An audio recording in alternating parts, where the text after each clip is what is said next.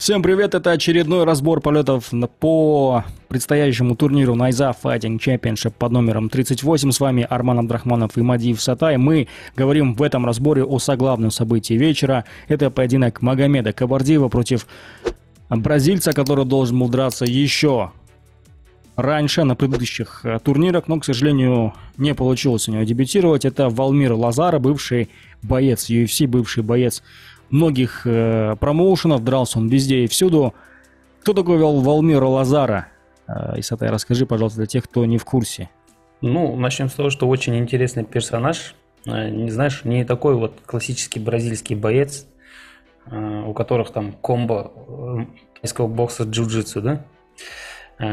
Валмир это боксер с очень нестандартной такой стойкой, манерой ведения боя, немножко такой корявый даже имеет э, опыт в профессиональных боях именно по боксу, кстати. Выступал в профи-боксе. Но уже на закате, 36 лет, для Кабардива, наверное, хороший соперник в плане продвижения. То есть, ну, будет по этому поединку можно будет судить там, о маге, да, что он из себя, в принципе, сейчас представляет на данный момент.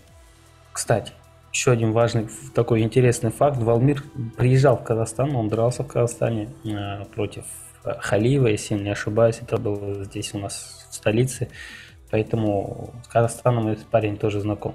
Да, он дрался на WFC 35 в Астане. Я помню, я был на этом турнире. Я помню и снимал а, пресс-конференцию и взвешивание. Тогда объявили о том, что это бывший боец UFC. Для меня, как для молодого начинающего блогера, там, журналиста, репортера, для меня, конечно, было шоком впервые вживую видеть бывшего бойца UFC. Ну и, скажем так, я сейчас не без шуток, потому что до этого ты где там видишь? Это потом уже Жалгас, там Сергей, все остальные Шавказ стали бойцами UFC, и ты такой, ну, UFC, UFC. Тогда, в семнадцатом году, это казалось такого, ничего себе. Но вот единственное, наверное, яркое событие из карьеры э, Валмира Лазара – это три боя в UFC, из которых он в, одной, в одном поединке одержал победу. Все, больше каких-то ярких, э, таких вот запоминающихся моментов сложно выделить, и он и в своем инстаграме об этом часто об этом говорит. Ну, по крайней мере, э, все публикации, фотографии вот с тех предыдущих поединков. Мало тренировок, э, мало какой-то личной жизни, мало там э, видео или фотографий из боев, когда изучал этого бойца.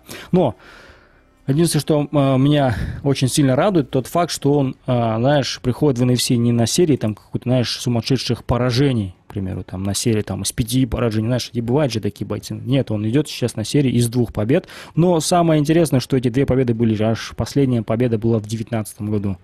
То есть э, очень давно в ММА он не дрался. Скорее всего, я предполагаю, что он дрался по боксу, потому что есть у него, э, я не изучал этот вопрос очень там глубоко, но, по крайней мере, в его инстаграме часто выходят публикации, связанные с боксом.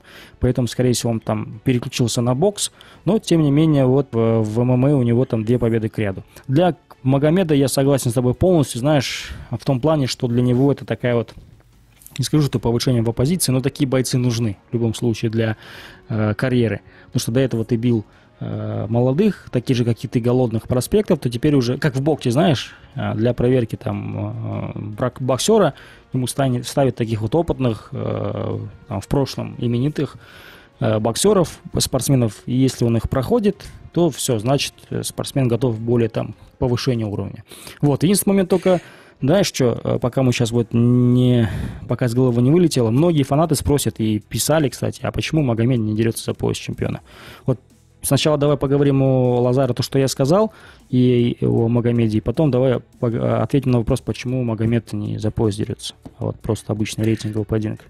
Ну, знаешь, Лазар это, ну, до этого я так скользь сказал, да, но если уже прямо говорить, э, он может стать таким гейткипером для Кабардиева, то есть определенной проверкой. Если он проиграет, то Лазаро сразу автоматически становится претендентом номер один. Автоматически. Я думаю, что у Ильдара появится определенная мотивация. Я сильно с ним не разговаривал на эту тему, в принципе, давно не виделся с чемпионом, но у меня есть такое ощущение, что у Ильдара там с мотивацией есть определенные проблемы. Он хочет больше вот таких вот соперников, да, э, экзотических, скажем так. Э, Лазара, да, я сказал, что 36 лет, ветеран, там, давно не выступал в ММА, но в целом там не сидел без дела. он, допустим, если с Магомедом сравнивать, он не такой вышкаленный боец. Он более такой корявый, немножко долговязый, там, не работает там какими-то сумасшедшими сериями, да, столько больше боксерской, он там на переднюю ногу упирается, там, руки довольно-таки низко держит, что тоже интересно для ММА, редко увидишь, да, такое. Ну, где-то вот стойка, знаешь, таких американских боксеров напоминает. Но в этом его и фишка. То есть э, у него из 19 побед, по-моему, 11 или 12 досрочных. То есть в партере он, в принципе, бои не заканчивает, он болевые не едет, он даже и не пытается бороться, если честно. То есть он борьбой, в принципе, я так понял, так только в, в качестве защиты. А так в целом все э, в основном от бокса работает. И здесь он может, конечно, удивить. То есть это вот такие навыки, которые они, ну, с ним будут всегда, да. То есть возраст приходит, да, там навыки, там уходят определенные э, функционалка, да, скорость, возможно, не та будет, но удар будет всегда с тобой. То есть и по поединкам видно, что Лазару жестко ударить он может. А Магомед у нас как раз-таки любит бить ногами. Учитывая опущенные руки, а, я так думаю, в голову очень много будет прилетать именно с ног. Ну и тут, знаешь, тоже можно махать ногами и напороться на встречный удар. То есть есть вот такой противоречивый момент в этом поединке. То есть у обоих друг, друг другу есть ключи, это нужно ну, правильно просто подобрать. Касательно Магомеда Кабардиева, почему Мага не дерется за пояс чемпиона? Давай ответим на этот вопрос, потому что у многих фанатов, когда объявили этот поединок, анонсировали, многие удивлялись, я в том числе, если честно, был уверен после его последнего поединка а, Кабардиева, что он следующий претендент на пояс чемпиона. Ну, это, знаешь, э, присуще нашему сейчас казахскому ММА, где одноклубники, братья, друзья, да, не могут друг с другом подраться. В каждом весе есть, есть такие спортсмены. Да, да, да. Да, вот мы до этого разговаривали про поединок там Альби с Джохаром Искием, там тоже есть такой момент. Э, в категории там полулегком весе, где, э, где Самусев чемпион, там тоже есть такие моменты. Ну и 70 килограмм тоже не стал исключением. Ну, видишь, э, в качестве возмещения вот этого вот издержки вот этой, да, угу.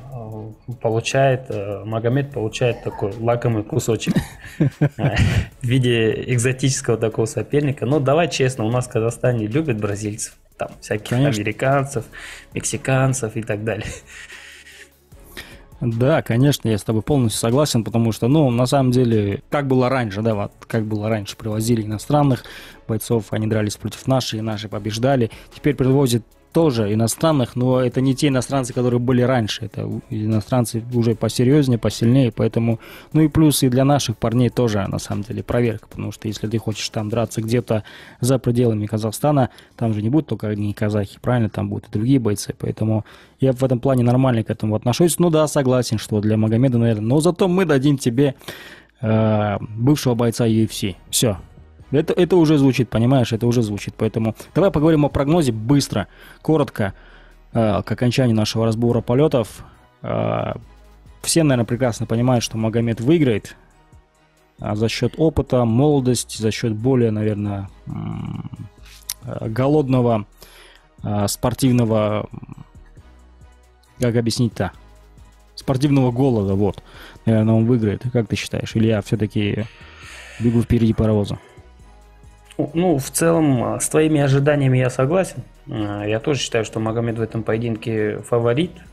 Но у Лазара тоже есть свои определенные шансы. Но в целом я вижу поединок таким, что он будет, скорее всего, трехраундовый, то есть продлится все три раунда. И Магомед будет больше осторожничать, пытаться перебивать на дистанции. А вот Лазару как раз-таки будет...